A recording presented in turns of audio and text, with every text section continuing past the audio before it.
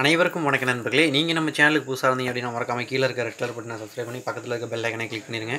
இப்போ பார்த்தீங்க அப்படின்னாக்கா நேற்று நம்மளுடைய நம்பர் பார்த்தீங்கன்னா ஐம்பத்தெட்டு பத்தொம்பதுன்னு சொல்லிட்டு ஒரு நம்பர் கொடுத்துருப்பேன். அது இன்னைக்கு சிக்ஸ் டிஜிட்டில் பார்த்தீங்கன்னா வந்திருக்கு. ஒரு நம்பர் உள்ளே வந்திருந்தால் இன்றைக்கி கொஞ்சம் நல்லா இருந்திருக்கும் இப்போ பார்த்தீங்க அப்படின்னாக்க போர்டு பார்க்கலாம்.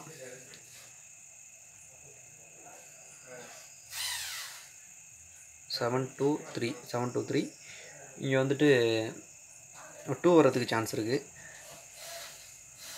இப்போ எங்கே பார்த்தாலும் என்ன பிரச்சனை போயிட்டுருக்குன்றது உங்கள் எல்லாருக்குமே தெரியும். த்ரீ டிஜிட் நம்பர் வாங்க மாட்டேன் அப்படின்னு சொல்லி சொல்லியிருக்காங்க. கண்டிப்பாக நீங்கள் எல்லாருமே எல்லாத்தையுமே கேள்வி கேட்கணும். த்ரீ டிஜிட் நம்பர் வாங்கலை அப்படின்னாக்க நான் இப்போ வந்து த்ரீ டிஜிட் நம்பர் போடுறேன். உங்ககிட்ட த்ரீ டிஜிட் நம்பர் புக் பண்ணுறேன் அப்படிங்கிற பட்சத்தில்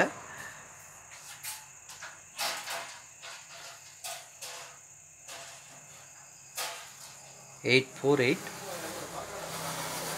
இங்கே ஃபோர் அல்லது எயிட் சிம்பிளான கான்செப்ட் முடிஞ்சிடுச்சு. ஏன் அப்படின்னு சொல்லி பார்த்தீங்கன்னா இந்த இருக்குது உங்களுக்கு தெரியும். அதை நீங்கள் எப்படியும் வச்சு பார்க்கலாம். இதுவரையும் கொண்டு வரலாம். இல்லைனா அடுத்த கட்டத்துக்கும் இவ்வளோத்துக்கும் கொண்டு வரலாம். இதில் எதுவே வச்சிங்கனாலும் இந்த நம்பர்ஸ் வரதுக்கு சான்ஸ் இருக்குது கண்டிப்பாக இந்த நம்பரில் ஒரு நம்பர் உள்ளே இறங்கணும் அப்படின்றதில் எந்த மாற்றமும் இல்லை. நேற்று நம்ம அதே சொன்னது போல தான் பார்த்துங்க அடுத்து பார்த்தீங்கன்னாக்க பி போர்டு பார்க்கலாம். பி போர்டு பார்த்தீங்க அப்படின்னா த்ரீ எயிட் த்ரீ இதாக இருக்குது பாருங்க. கம்பல்சரி த்ரீ வர்றதுக்கு நைன்டி பர்சன்ட் சான்ஸ் இருக்குது அடுத்து பார்த்தீங்க அப்படின்னா four three five four three five so மறுபடியும் ஒரு த்ரீ வரதுக்கு சான்ஸ் இருக்குது இப்போ இது கூட எக்ஸ்ட்ரா நம்பர் எடுத்துக்கிற நம்பர் பார்த்தீங்கன்னா ஒரு ஃபோரு ஃபோர் எங்கேருந்து வருது அப்படின்னு பார்த்தீங்கன்னாக்க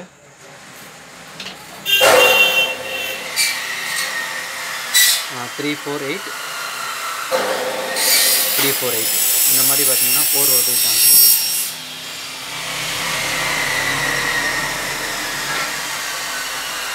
அடுத்து பார்க்கலாம்.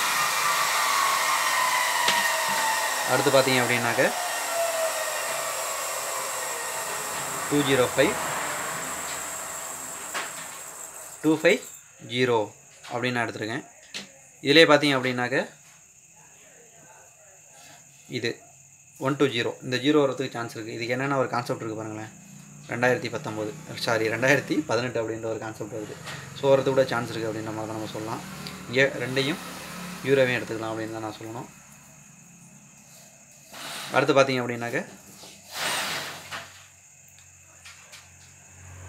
சி போர்டில் இன்னொரு நம்பர் இருக்குது என்ன அப்படின்னு சொல்லி பார்த்தீங்க அப்படின்னா two four one four four two one அப்படின்ற மாதிரி எடுத்துக்கலாம்.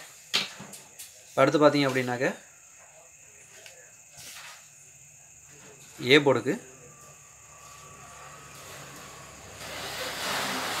ஃபைவ் இதில் பார்த்தீங்கன்னா டூ செவன் த்ரீ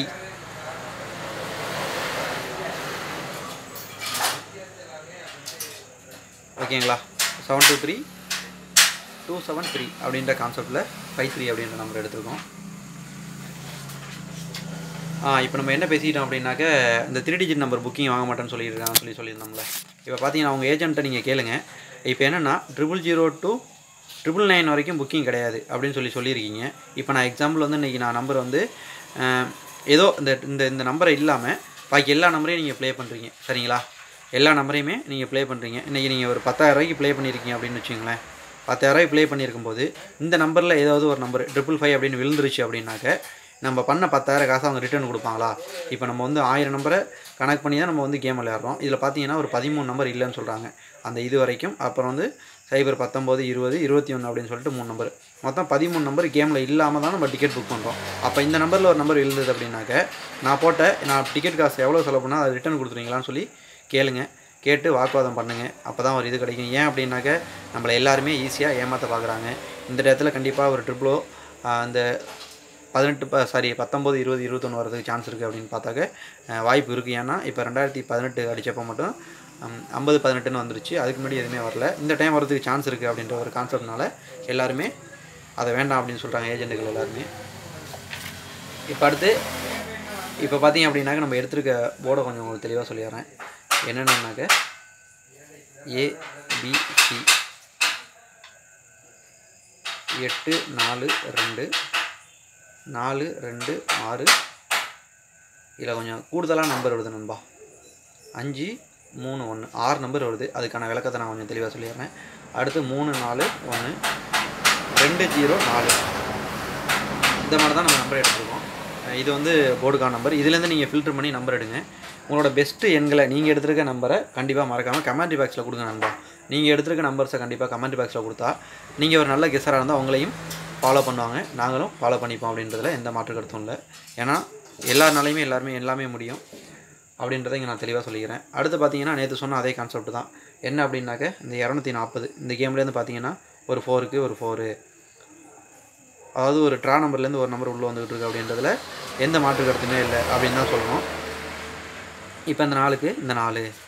அடுத்து பார்த்தீங்கன்னா இந்த அஞ்சுக்கு ஒரு அஞ்சு அப்படின்னு உள்ளே வந்துகிட்டு இருக்கு. இப்போ டபுள் ஃபைவ் இருக்கிறதுனால நான் ஒரு கன்ஃபியூஸு இப்போ அடுத்து பார்த்தீங்கன்னா இதுலேருந்து நான் என்ன சொல்ல வரேன் அப்படின்னா இந்த மந்த்தே நீங்கள் எடுத்து பார்த்தீங்க அப்படின்னா அதாவது இப்போ இப்போ இப்போ ரீசெண்டாக அடிச்சிட்டு இந்த கான்செப்ட்டில் அடிச்சிருக்கேன். ஒன்று ரெண்டு மூணு நாலு அஞ்சு நாள் ஆயிடுச்சு நாளைக்கு வருமா அப்படின்னாலும் கண்டிப்பாக என்ன பொறுத்தில் வருன்றது என்னோடய முழு நம்பிக்கை வரும் அப்படின்றது எந்த மாற்றமும் இல்லை.